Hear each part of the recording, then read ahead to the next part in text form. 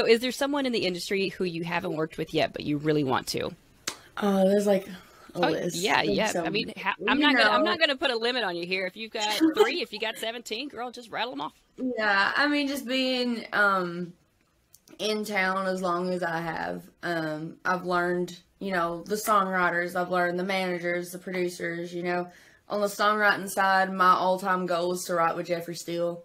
Like, I want to write with him, him, Tony Mullins, all of the, the Music City Hitmen, as they used to be called, or Music Row Hitmen. I just love them. So, him, Tony Mullins, Craig Wiseman, all of them on the writer's side. And then on the label side, I'd love to work with Craig Wiseman as well because he has an absolutely amazing rec- record label that's blowing everything out of the water right now. And, um, you know, there's just there's people that even behind the scenes people wouldn't under wouldn't know, but artist wise, people I'd love to work with. I mean, like, gosh, like Garth would be like my all time. Like, if I got to do anything with him, I would be set. Just because one, be in the room with one of my heroes, but then to have him have any input or have any advice he could give me would just mean the world to me. And then also, I mean, it would be great to sit down with Loretta Lynn um, one time and just talk to her about the industry and see how she's learned because um, she's one of my one of my musical Mount Rushmore people mm-hmm.